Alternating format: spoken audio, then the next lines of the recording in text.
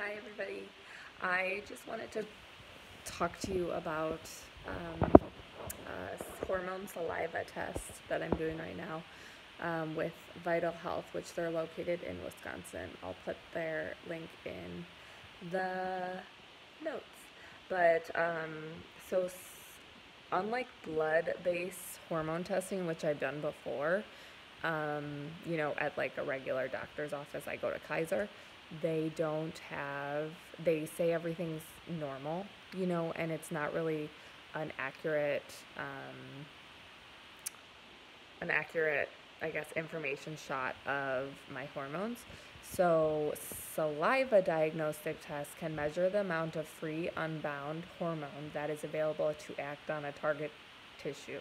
About 95 to 99% of steroid hormones circulating in the bloodstream are bound to carrier proteins.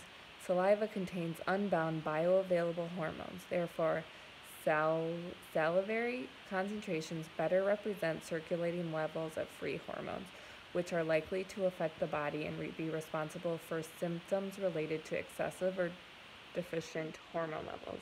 So I'm doing this because I've had a series of, as you can see right here and here, some um, acne scarring here. Unfortunately, I hate it. And I'm just trying to figure out why that's happening. Um, and I apologize, I did not shower yet today, but I wanted to. Um, basically, this is my third collection of the day. I did one at 6 a.m., noon, 5 o'clock, and then I'll do one two hours after dinner. Um, and I got it sent to my house here, and then um, I got. I'm gonna send it tomorrow. I freeze it tonight, and then I send it tomorrow.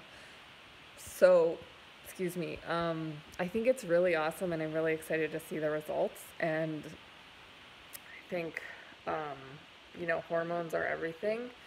Um, and there's a lot of things that affect our hormones. So I'm going to be talking more about what affects hormones, um, like with acne and whatnot. And I mean, I'm not a doctor, but I do a lot of research on this stuff and it interests me. So if you have any questions, feel free to let me know. Um, I'll put some notes in the notes column about this and um, feel free to reach out to me with any questions. Thanks.